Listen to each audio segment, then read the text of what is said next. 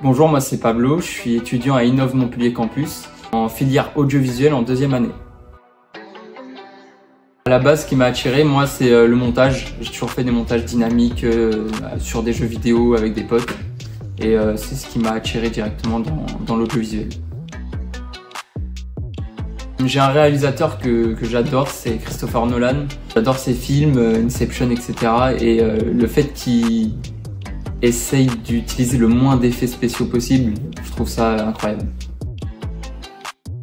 Le projet dont je suis le plus fier, c'est le portrait que j'ai fait sur euh, Gary. Que ce soit au tournage, on s'est régalé, on est allé jusqu'à Paris. Euh, même le montage hyper dynamique, donc ouais, le résultat est cool.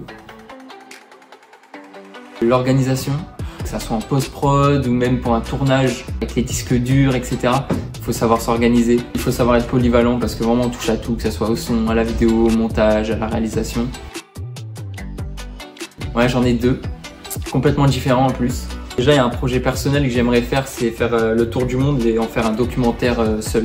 Dans le monde du travail, j'aimerais bien être dans le milieu du foot, de la télé, donc justement réalisateur de, de matchs, euh, choisir les caméras, etc.